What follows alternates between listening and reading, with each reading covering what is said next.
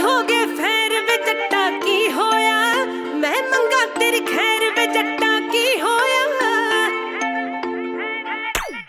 ਮਸਲਾ ਤੇਰੇ ਨਖਰੇ ਵਾਂਗੂ ਵੱਧ ਗਿਆ ਨੀ। ਖੜਾ ਹੋ ਗਿਆ ਜੱਟ ਤੇ ਮੇਲਾ ਲੱਗ ਗਿਆ ਨੀ। ਮੈਂ ਹੈਲੋ ਹੈਲੋ ਕਰਾਂ ਤੂੰ ਅੱਗਿਓਂ ਬੋਲਿਆ ਨਾ। ਕੋਲੇ ਪਈਆਂ ਕਿਤਾਬਾਂ ਵੇ ਵਰਕਾ ਫੋਲਿਆ ਨਾ। ਹੋ ਬਿਨਾਂ ਗੱਲ ਤੋਂ ਕਲੇ ਭਾਲਦਾ ਏ ਜਿਹੜਾ ਨੀ। ਹੋ ਮਾਈ ਦਾ